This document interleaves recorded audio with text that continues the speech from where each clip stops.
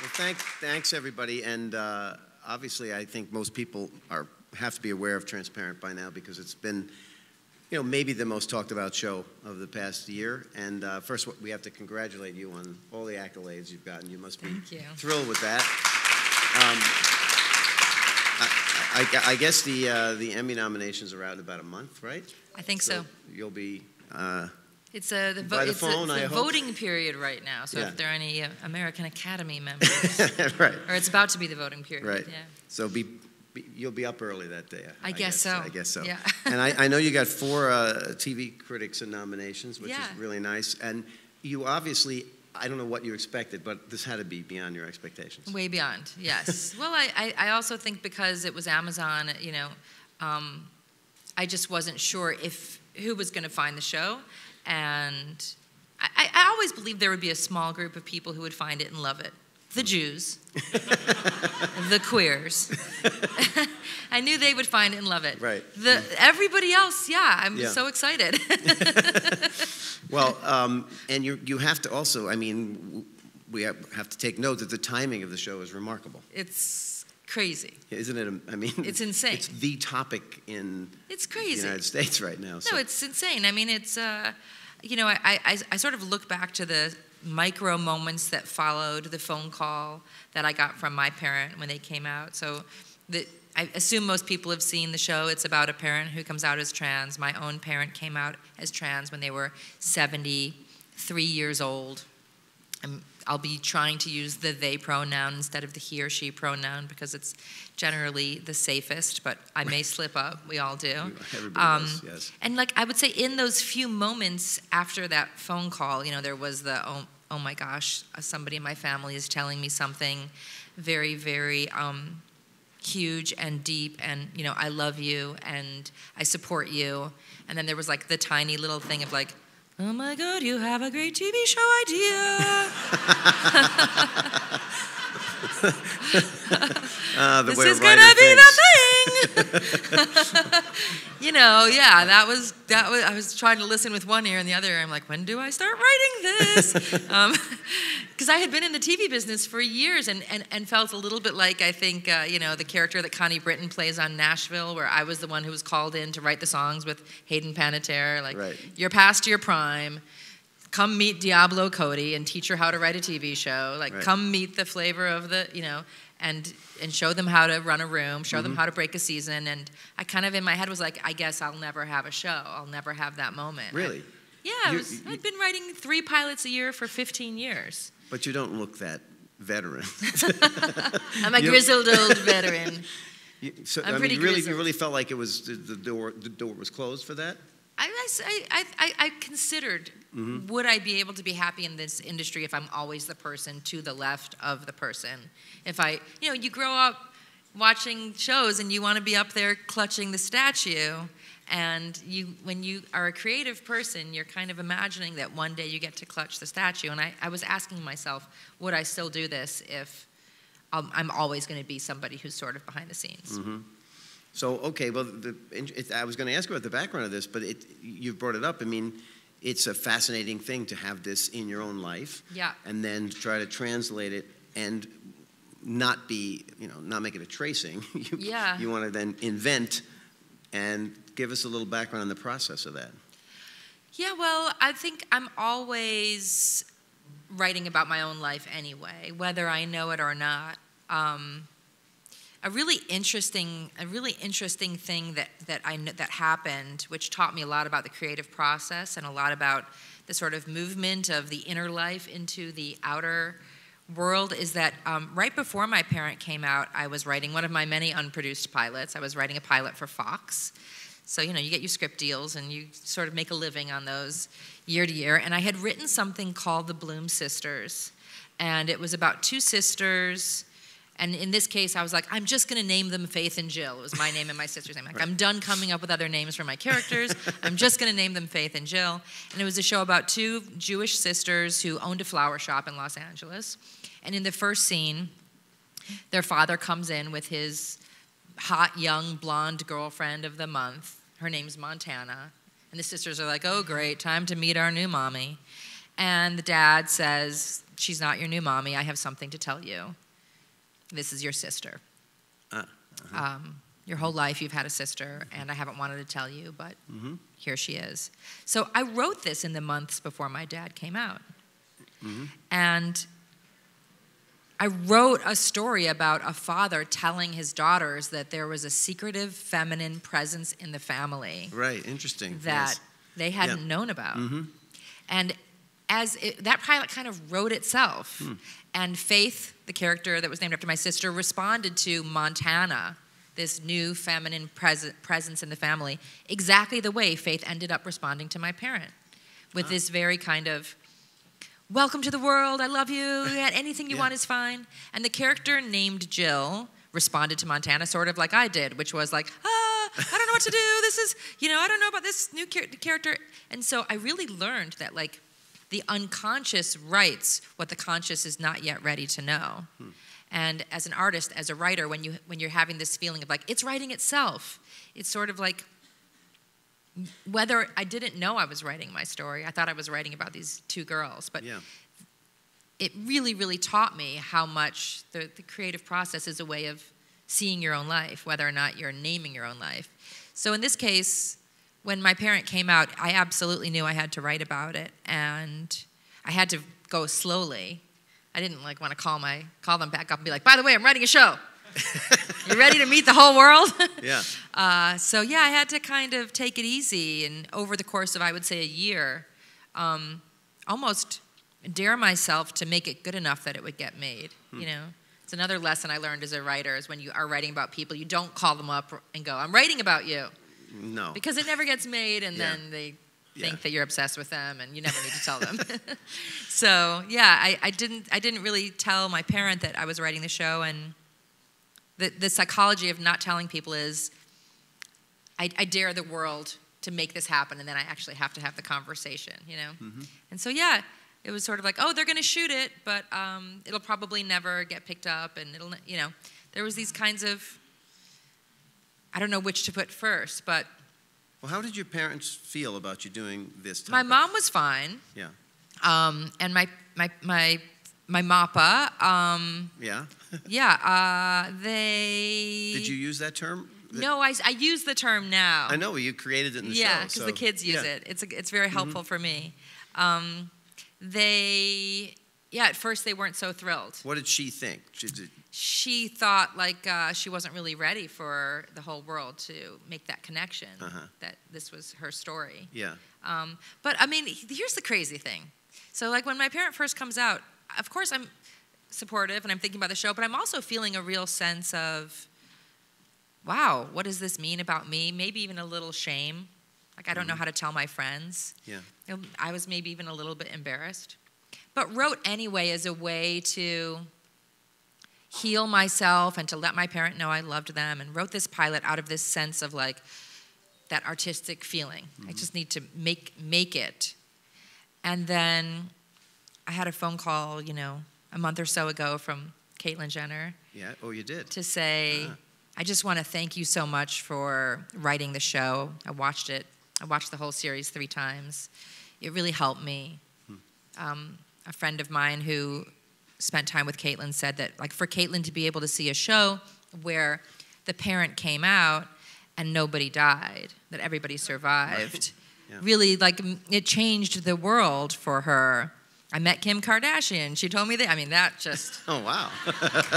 I always wanted to be a Kardashian. I'm like, I can't believe me and the Kardashians both have trans parents. That's It's right. so Yeah, crazy. that is. Tiny little feeling of like, I you have didn't to think save. you'd have anything in common with the Kardashians. Never. dreamed. I dreamed. yeah. Um, now sometimes I start my day getting my hair and makeup done, like the Kardashians. But but so to, to have that little artistic feeling of I, I need to turn these feelings into something that I can see and feel to understand them, to knowing that the patriarch of the most famous family on the planet might have been affected and able to come out and affect a whole planet full of people who might be afraid to come out because this story got told. It's it's mind-boggling. It is. It's mind-boggling. Yeah. Yeah. Does it give you pause? Like, wow, I'm, I, I stepped into something massive here that I had no idea I was going to be yeah, doing. Yeah, it really, it really does. I, I, I- it almost makes me feel a lack of a lack of protagonism in the story. Like this is this big thing in the world that was going to happen. Yeah. That trans, the trans movement was going to begin to kind of really ramp up in a huge way in this time, and I happened to be a passenger on this Mm-hmm. on this boat because it's all too crazy. Yeah. It's I- all, it's just too, it's too I- nuts. This is, just occurred to me, uh, I, I guess it, maybe it's something you explore in the show, but did you feel a sense of loss? It's a good question. Um, yeah, I mean, I think it's very, it's a very delicate question because um, Kris Kardashian. We're gonna we're spending so much time talking about the Kardashians today. Kris Kardashian recently came out and said something like, you know, where's my husband? Or anger Yeah. at losing her husband. And I think my, my learning curve is exponential. And I was able to look at that and recognize how that feels for trans people to hear. The trans people I know uh, would say, I'm still here. Right. I didn't go anywhere. It's still me. Um, but there certainly was a moment where I recognized that I sort of wanted to know where my dad had gone, where he was, if I wanted to see him, how I could ever see him again. It kind of makes me emotional. Yeah. Um, well, I can imagine it does. Yeah, but of course that person is still there. But yeah, it's um, it's so delicate. It's so delicate about um, how to allow trans people their, you know, um, their human rights to be themselves, to finally, finally be themselves. Yeah. And all of us privileged cis folk. And for those who don't know the, the word cis, C-I-S, it just means the opposite of tra- trans. Um, all of us privileged cis folk who've never had to come out or, or um, become ourselves. It's kind of rude for us to be like, well, I miss the old one. But um, But there's a natural yeah, thing. You grew up with yeah, one thing, and now that thing is different. yeah, it's true. Yeah. Yeah, it's there's there's there's mourning and grieving to be done. Tell us about the process of now pitching this idea. I mean, to me, that had to be not. it sounds like you know. I, I remember talking to uh, uh, Vince Gilligan when he was pitching, Mm. and you know, the idea. Well, we're, I'm pitching this guy's got cancer, and he becomes like. a- Yeah. and people are like, "What?" And they basically. But what, so, what was the reaction when you Well, said, I "This actually, is what I want to do"? Um, I have an amazing agent. His name is Larry Salz at UTA. He's, you know, just like the, the agent of all the cool girls. he's like Lena Dunham's Good agent. distinction. Yeah, he's great. Like he's got all the Yeah. cool girl writers, and um, he told me to write it. He told me to just go ahead and write it. That like don't Don't pitch it. Don't yeah, pitch don't the pitch idea. it. Don't Mhm. develop it. Just write the thing. And you know, he said, you know, we'll send you on meetings, and then after you leave the meeting, we'll send the script over, and then hopefully we'll have some sort of, you know, competitive situation. Um, and because I've been in the business for 20 years doing all these script deals, I know everybody. So it was less like a pitch meeting and more like a, hey, how are you? Guess what fucking is happening in my life? what? Holy fuck. Yes, it's true. Mm-hmm. Uh, this is what just happened. And so, of course, I had to write about it, and uh, the script will come later. So it was, it was more like catching up with catching Mm-hmm. up with people that I knew and updating them. But there, you didn't get a lot of reaction like, "Well, I don't see how you can make that a show."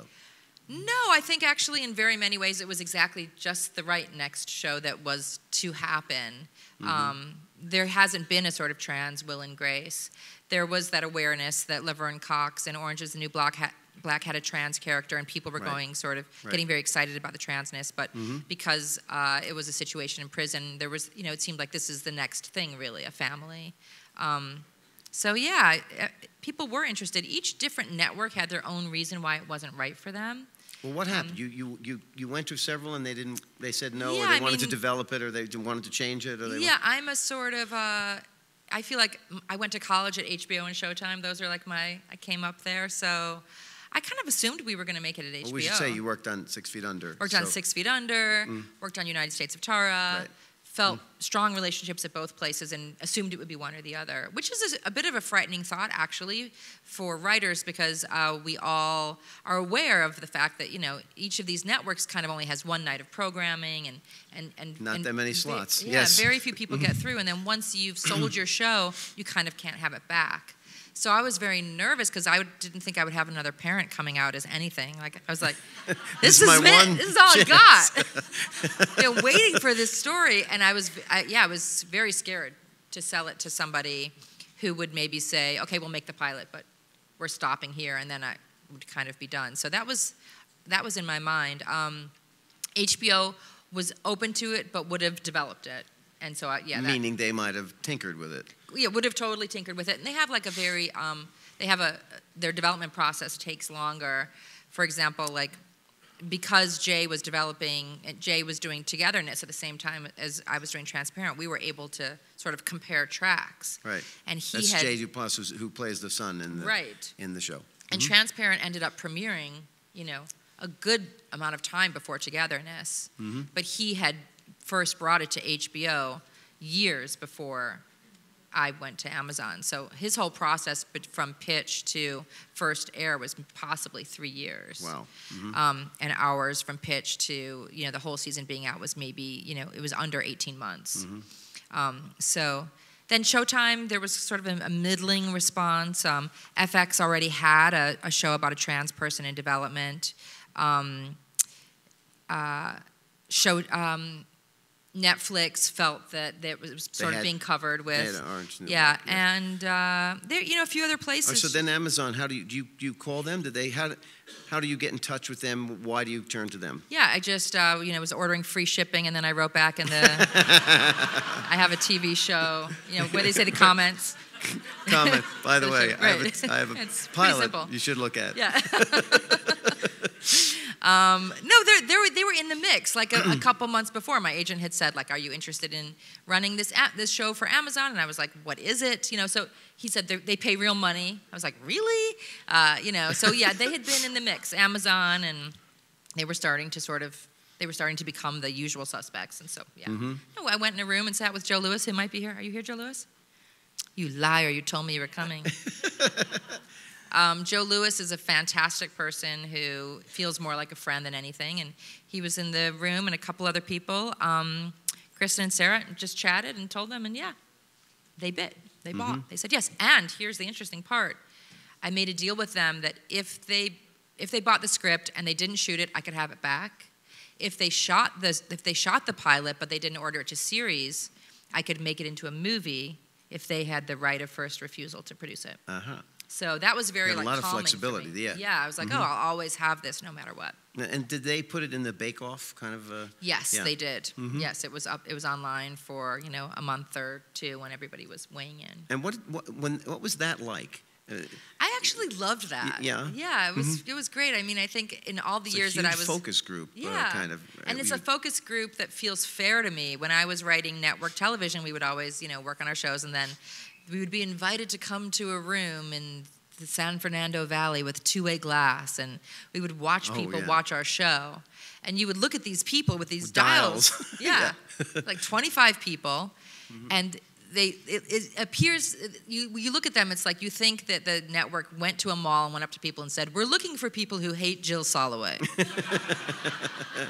do you dislike Jewish people or do you dislike gay people? Please come to this room and watch her show. Like it was just that. they seem to find the exact yeah, right people. to That's what it seemed show. like. And I was like, we're and it's all and and, and it carried so much. You know, Mm-hmm. I would be like, these 25 people really can tell you if it's working, and they were like, a random sample turns out to always be right. So that was that to me is frightening. To have the show go up online and to be able to have like certain critics tweet within a couple of hours, you know, Emily Nussbaum or Willa Paskin, these people who I had worshipped and looked up to, and then to have them be able to see it. Um, yeah, I mean, Twitter. So when they were going to put it up, we were, I'm doing these emails to all of the writers and to the actors saying, like, it's going to go up at this time on this day. Email your friends. Right. You know, Yes. I didn't know how people were going to know it was up. Like, get ready to tell your friends. And then it's like, oh, yes, Twitter. Okay. Don't need to tell everybody. I always thought it was like an Evite.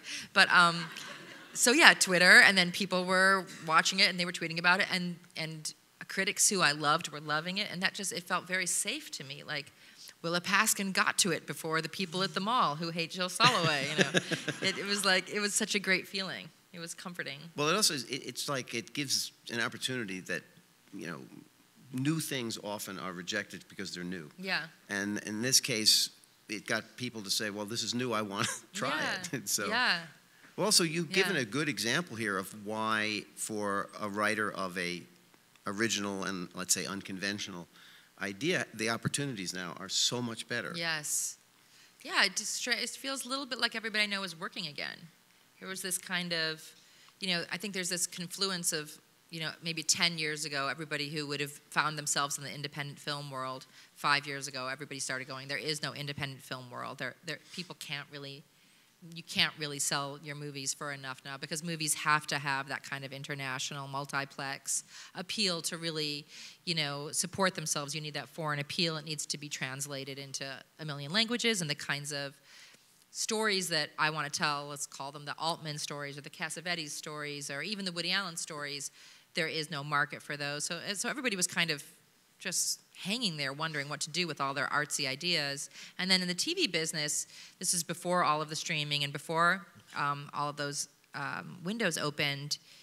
There was this feeling, especially you know, especially for women, we would go on these meetings at networks, and they would straight up say, like, "We need a rootable white heterosexual male at the center of this, or we can't sell it. Like, we need the Ty Burrell.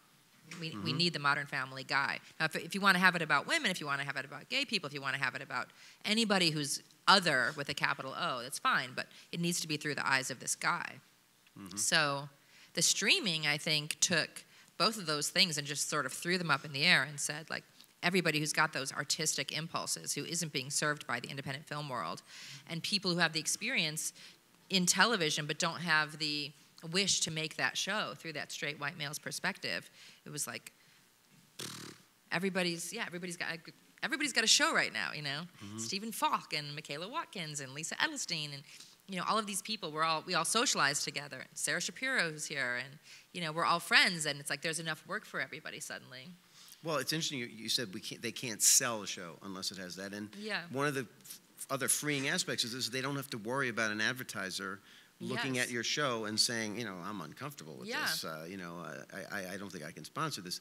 That's a freeing thing, isn't it? It's I am- mean, I mean, it's amazing when you think about Amazon even more so than Netflix. I mean, um, Netflix has its own model, but um, the fact that Amazon also is selling products to Right. people and, and has the consumers right there, knows what they like to buy, knows what their tastes are, um, beyond just what kind of media do they consume. It's such a direct line. It just takes out so many middlemen. And yes, I do think a lot of those middlemen were people who created this kind of fear-based, fear-based psychology amongst amongst programmers, saying like, we need to make sure those people are comfortable. Yeah. well, did you go into this bake-off really not knowing if you'd succeed, or was did you already feel like Amazon was behind you and you were going to do the show? Yeah, a little bit of both. I mean, uh, I, again, like that feeling that I was talking about, like that this is this huge, weird tsunami that I'm riding on, as Yeah. opposed to like other shows where I was like, I hope it's good enough. I hope it makes it. There was an odd feeling from the moment I had that idea on the phone call, like that all of this was going to happen. Mm-hmm. Like I could just see it all unfolding in this way. I remember actually Diablo telling me that about Juno. She mm-hmm. said, like, when it finally happened for her, it was this undeniable force where Yeah. it was just happening and she knew it and she could tell and all of the things that you would normally worry about when you're working on a, on a project the, the politics the you know whatever you'd be doing to make sure something works the notes the the processes that's it all kind of falls away when something has that velocity of of the culture needing it to, to, to happen at the time that it's happening So now you get the order, and uh, you did kind of an interesting thing. You you encouraged uh, the staff as many trans people as you could hire, right? You, what did you call it? Trans- Transformative action. Transformative action. Yeah. Yes. Well, I mean, one of the things I found out very quickly because I was so unpoliticized and I really didn't even understand the basics of um, trans representation was I very quickly understood how problematic it was that I had cast Jeffrey Tambor in the lead.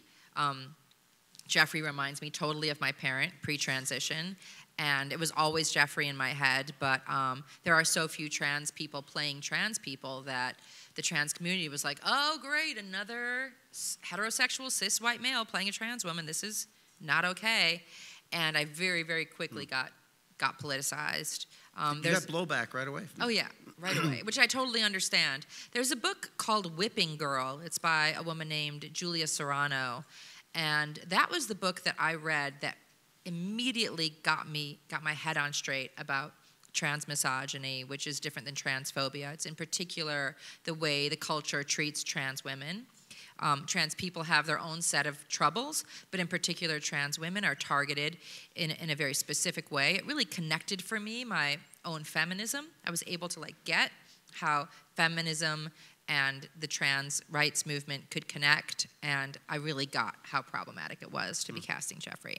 Um, and And so, you, hadn't con- you actually hadn't even considered necessarily because you, you were Yeah. looking for the best actor you could find, right? I mean, that was that was your again like as like everything was kind of just rolling it was just it was jeffrey as Yeah. i was writing it was jeffrey i mean in retrospect i really recognize that i do think america or sorry to be american yeah North the America. world yeah north america people i think responded to seeing somebody they know transition and yes. Jeffrey Tambor was a dad to them because of Yes. Arrested Development. So Mhm. I actually think, had I found a trans woman who was as good a, good an actor, it might not have had the same effect.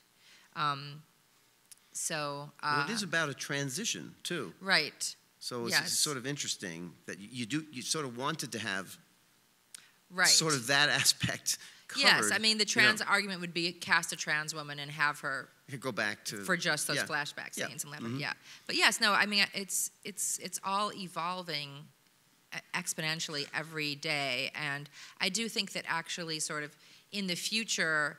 Um, you know, post the post Caitlyn trans conversation is going to start to be about uh, gender queer folks and gender non-conforming people and people who sort of find themselves somewhere in the middle. Um, and then one will ask the question: Would a trans person play that person? Yeah. somebody who hasn't transitioned and who's playing somebody who's gender fluid.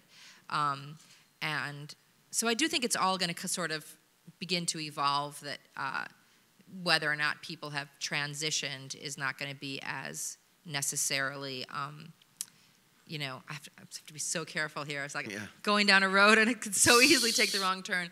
Somebody tweets something I said and it's all over for me. I mean, it's it's you have to be you have to just get get it all just right. I'm sure you know from Oh, it's yeah, it's Yeah. and and and things are monitored, so people are paying attention Yes. to what is being said. yes. But I guess the other thing I was going to say is, you know, on some level, eh, you're look you're you're creating art here. yeah. That's what you're, you're as much as you're creating a socially relevant topic, what you're doing is art, and Thank and you. so and so. Getting the best art, and, and you can't do better than Jeffrey in this role. I mean, No. he's fantastic. So, you can. so that that's on one level you want to do that. You want to Yeah. have the best artist you can Yeah. have. You know, so would the show be successful as successful if he wasn't in it? I, I don't think so. I feel like every person who's in the family and they, they all are the right person for Yeah. that role, you know? Mm-hmm. But but tell us a little bit about having that when you have trans people on the staff. Yeah. Are, are they giving you notes, advice? Oh yeah. Uh, so we have three. We had season season one. We had three people who were specifically in the role of trans consultants. So Jenny Boylan, who's one of the first uh, people who I read, and she's around more as age, and she's fabulous. Um, and then Rhys Ernst and Zackary Drucker, who are a um, an, an art making team, filmmakers that I met at Sundance. So the three of them were around from the beginning, really just, yes, helping us get everything right and making sure we didn't do any of the tropes, you know, the sort of trans tropes of like staring at yourself in the mirror and putting on lipstick and wigs and like all of these things that are tropes. Um, they really, really helped us. They really explained the transbrella to us right away. Like, okay, chalkboard, transbrella, three different things that everybody gets confused. Trans women, cross dressers, drag queens, not the same thing. Three completely different things. Here's why. Here's how they're connected to each other. Um, I didn't even know that. Right. You know, I had to get that figured out. And and so Did you interview your dad? Yes, yeah. I mean, there are certain moments. The the moment about the ID in the you know in the um in the uh, The- the the, scene, scene- yeah, yeah, the he- support group scene. That's Right. from my parent, and then yeah, the bathroom stuff. Getting you know fear of being misgendered in the bathroom. Yeah, I mean, there's there's so many things in it that are just Mm-hmm. from yeah from just being my chi- my parents' child. But yeah, so we realized the problem not only with trans representation on television, how few trans people. When you say like, had you found a trans actress? Like, Yeah. well, there aren't any, because trans people are having are, are are are just now beginning to come out, and they go through so much psychological, social adjustment that the kinds of things that create a whole gaggle of actors, you know, having the privilege and the time to go to acting school, the privilege and the time to um, get great at your craft, to have the years where you're working and you're not working. These are not the privileges of trans people. It's the same thing with trying to find people of color and um, you know, the kinds of people you don't normally find in the industry. You start to realize all the ways that privilege creates a creative class. Um, so we really just wanted to start to fix things. Um, same thing with writers. Like, where were the trans writers? If I wanted to hire a trans TV writer, where are the trans people in the Writers Guild? Where are the trans people in the DGA? Aren't any. You know, we have. We, that you know of. well, yeah, there are there are Yeah. people who aren't out. Exactly. Thank you for yeah. reminding me. Mhm. There are a lot of people who aren't out. Um, and yes, when I say there aren't any, there I mean like there are two or three. There's Lana Wachowski. There and Well, then right, yes. there are a couple of other people who now we've gotten into the DGA. We've season two. We have a trans director who's going to get into the DGA. We took very very seriously that uh, transparent was probably going to become one of the biggest trans related brands on the planet and that we had to take seriously the trans community that they were our community so yeah we created this transformative action program we made a little spreadsheet of all the trans people we knew who could work in any department we introduced trans people to the department heads you know we had to, had to hand do this i had to call my department heads and say you know that email i sent you with the excel spreadsheet of the names here's this person. I met this person. I think this person would actually be great in wardrobe. Can I arrange coffee? You know, because if you just like write the email, uh, Yeah, people have their own people they want to hire. You know, everybody, that's the fun of being a department head. You get to put your department together. And we had to just sort of hand massage every every relationship to get these people into the departments. And then we had gender neutral bathrooms. We took down all of the signs and put up gender neutral signs so that trans people would feel comfortable in every department. We tried to make sure we had as many trans extras as possible, whether or not they were playing trans people. Um, we just, cr- I really wanted to create a world where I wanted to make it so that if uh, we had a trans extra on the set, um, that if they were like in the transpo van, and I don't mean to be like in a trans barrel here.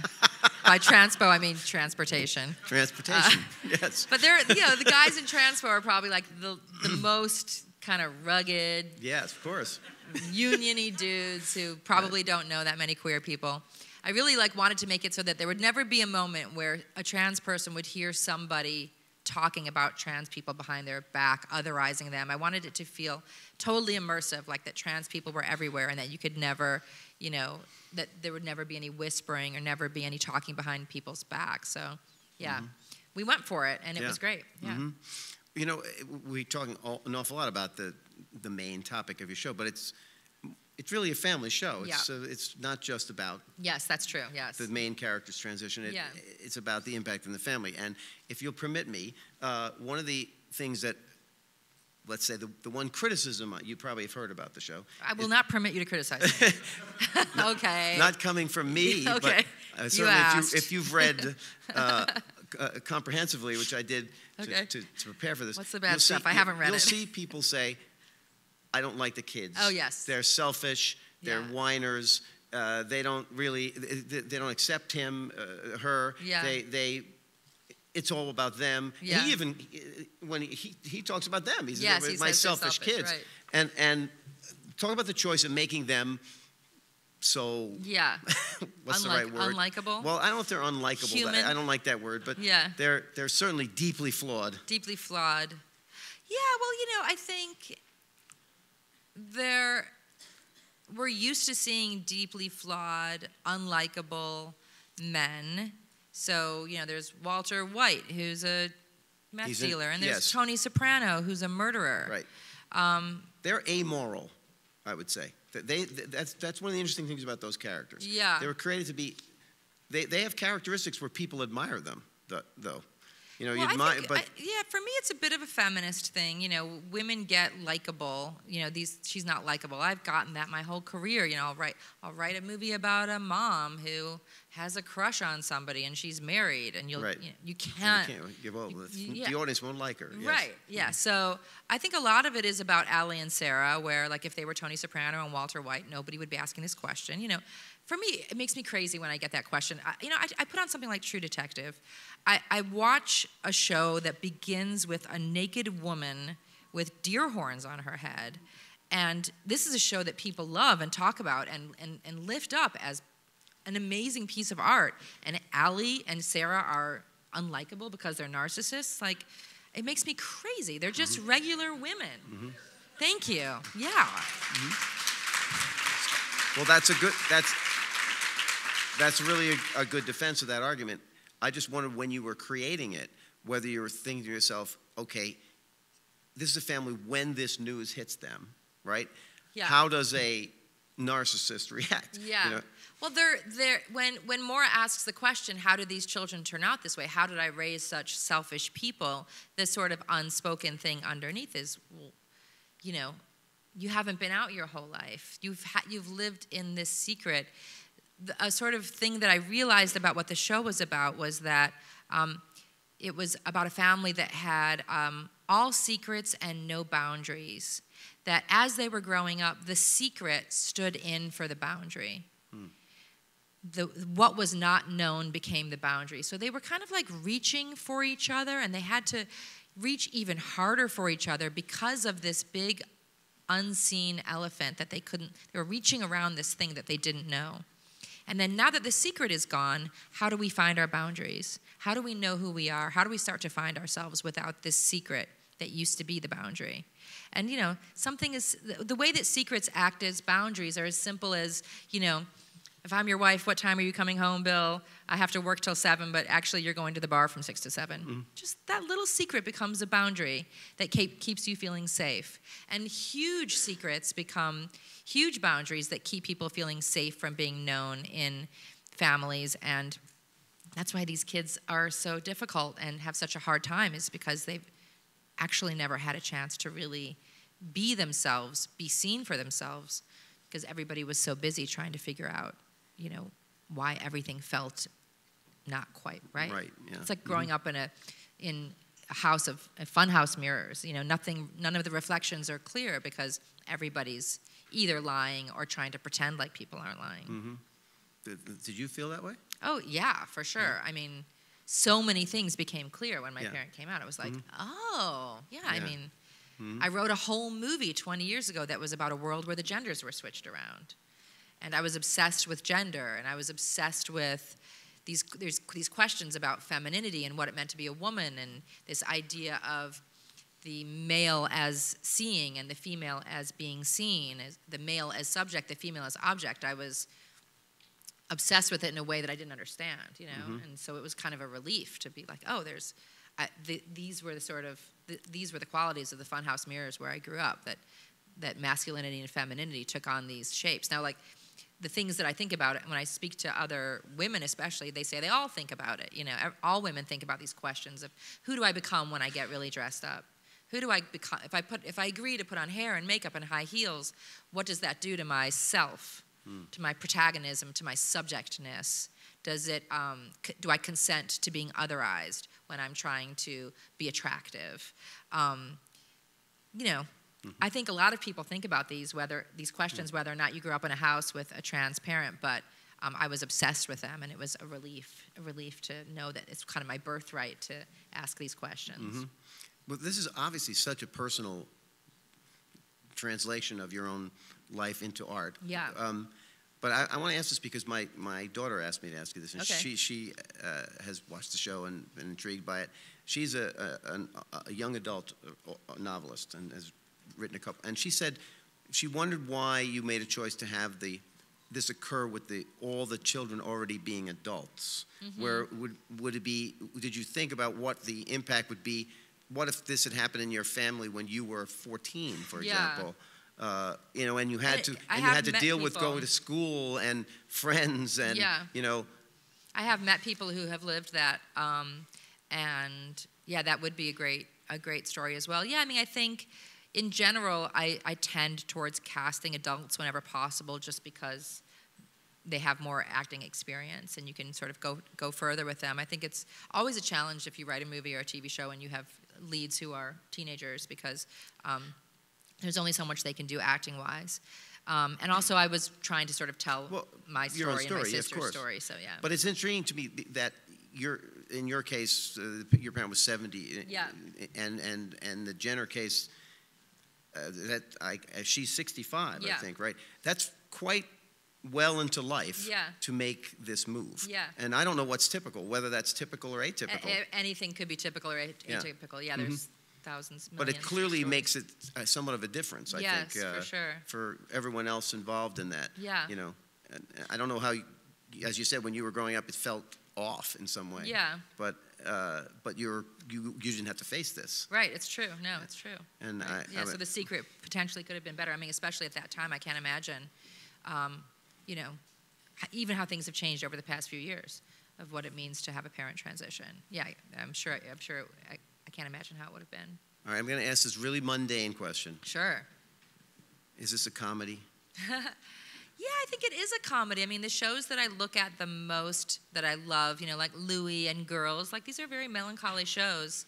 You know, as I said, Woody Allen is one of my heroes. Um, I really like the comedy. I think some, I think something that Woody Allen said is like he said, I don't write villains. I, I write characters where life is the villain. Just trying to get through the day is the villain. And um, to me, the comedy of that, of just sort of feeling like you don't fit in, feeling like an outsider, trying to get through life, and and the natural comedy that comes with being human is my favorite kind of kind of thing. Well, obviously, it's great to be in the half-hour category. Yes. Obviously, and and- Yes. but, and, but you know, if, if, if someone asked me, uh, you know, I, I watched the show, and I, I, I did not think I was. It, it wasn't provoking laughs as much as thought. Yeah. It was thought provoking for me. Yeah, it gets You know- laughs when it's in a big theater. It does. And yeah. if you smoke pot, it's really funny. No, but your intention, it- it's, it's sort of about your intention. Well, everything's you know, funny you You know what I mean? And you're very funny. you're, you're, and you've written comedy, and uh, you know that you're comfortable with comedy, of course. yeah. But I would, I, I don't know what is in your head, what your intention. If you're writing to say I, there's a laugh here, or not. I, you know what? My, my, my tone that I've, I think I discovered when I was writing Afternoon Delight is that I, I cast people who make me laugh. I cast funny people.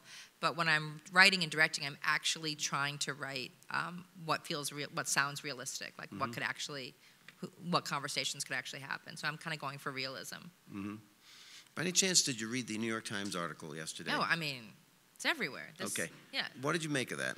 I mean, this is this is the con- we're, we're, we're having this conversation in season two. We have a character who's going to have that perspective. For people who don't know what he's talking about, there's a lot of controversy right now between the world of feminism and the world of trans people, and it's regarding this idea that there are people who are called TERFs, T E R F. It stands for Trans Exclusionary Radical Feminists, um, and the truth is, from what I can see in the world that I exist in, there aren't very many TERFs. Um, there are are a very small group of people who are saying, "Well, hold on, trans women, you can't be women, not so fast." In this article, for example, the woman was, I'm totally going to paraphrase here, saying things like, "I had to grow up dealing with unwanted pregnancy and having my period all the time. Right. And I didn't get the benefits that Bruce Jenner got of, Right. you know, sports and like. Um, I had an experience of a woman that that Caitlyn will never have. So, Exactly. right. Yes. All of the privilege that Caitlyn had. Mm-hmm.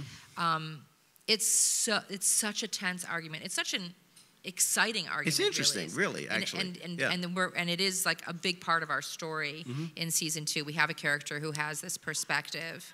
Um, so it's a conversation that our culture needs to have. Uh, you know, when somebody like Caitlyn comes out on, on the cover of Vanity Fair, you read, the, you know, you read her interview, and she talks about, um, "I'm so excited to have a girls' night, Right. Manny's Yeah, and or- Manny's and Petties, Do my nails or do whatever. my nails." Yeah. And then mm-hmm. if you're a feminist, Yeah. you just go like, "Oh, that's what being a woman is. I don't have girls' nights." Like, you know. Um, Right. And and and so, but then the trans the trans women I know say, but but but for people, you know, that idea of something so simple, that idea of something, you know, it's it's cis privilege to be a cis female and say I don't want to do my nails. It's cis privilege to say I'm a female, I don't want to wear makeup. Um, to be trans, to to have felt female your whole life, to have felt um, that you don't actually aren't actually yourself. Yes, perhaps it is a relaxing way to spend an evening to experience a ladies' night. Right. And so, of course, a trans woman should be able to experience that. And I, of course, um, you know, am, am always going to be on the side of the trans civil rights movement and and just offer to people that it's you know it's so new. I mean, when I think about that New York Times article, I and I think about all of the the people who can't tolerate the idea of Caitlyn. I really think about um, those YouTube videos of kids who are transitioning. So if it, there there are these heartwarming, set to the sound of Jeff Buckley doing Hallelujah. YouTube videos about like Republican kids transitioning at the age of three or four. Like, you know, these uh, you know, upstanding Christian families who have kids who, you know, were named Kelsey and meant to be Kendall or whatever. And, and it, they're so rootable, and you can't not root for these kids. You can't not root for these kids. You see them at the age of three, you very clearly see a boy and you very clearly hear this, you know, rootable, you know, Christian American mother saying, you know, we made a mistake, and now he's a boy and he's exactly who he should be, or now she's a girl. And, and when you see these innocent children, you root for them. Mm-hmm. And there's no person who would ever go, screw that person. They don't, they're, you know. don't know so you like. have to imagine that all of the trans people should have had access to that kind of healthcare, parenting, coming out at that time. That would mean that they would have gone through the puberty that would have been the correct puberty for their body. That would mean that they're not getting misgendered. That, that would mean that these late transitioners, like my parent, like Maura, like like Caitlyn, uh, wouldn't there wouldn't be that that sort of fascination factor of I want to see what they used to look like. I want to see what they look like now. Oh, I don't. I don't think they look good enough. Like these things that we're fascinated with, especially about about trans women, they're really about misogyny and about women having to look a certain way to please the male gaze, to please the male eye. And um, if you can remove all that stuff and see trans people as people, see trans people who are real people, who are really trans, who are born, i- i- you know, and, and, and in need of a, a world that understands what they're experiencing from the age of three and four and five. And imagine all the trans people getting that kind of healthcare and intervention from an early, early age. The kinds of hatred that is coming out now would, would that, that will be a thing of the past. Uh, I, just before we go, can you give us a little preview of the second season? Well, um, from the beginning, as I said, like a lot of the show was just presenting itself to me, and I didn't have to think about it. I got to just respond. And one of those things was, oh, the house will fall into a different kid's hand every season. Right. And so this this time it's Josh. Josh gets the house. Um, and yeah, we're going a lot further. I think because the world is caught up with Trans Mm-hmm. 101, that you know, Maura doesn't have to explain to, to people who she is anymore.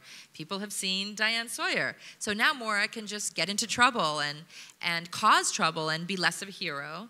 Um, and it's really co- it's really complex. You know, we're we, we really are looking at season two and realizing, yeah, season one we set it up, and now season two we get to just like explode all of this story with people. So it's complex and it's soapy and and uh, and intense and delicious And funny. and, and funny, very funny. There's lots of comedy. Lots of Well, thank you so much, and best of luck Thank with you, your Bill. your uh, award season.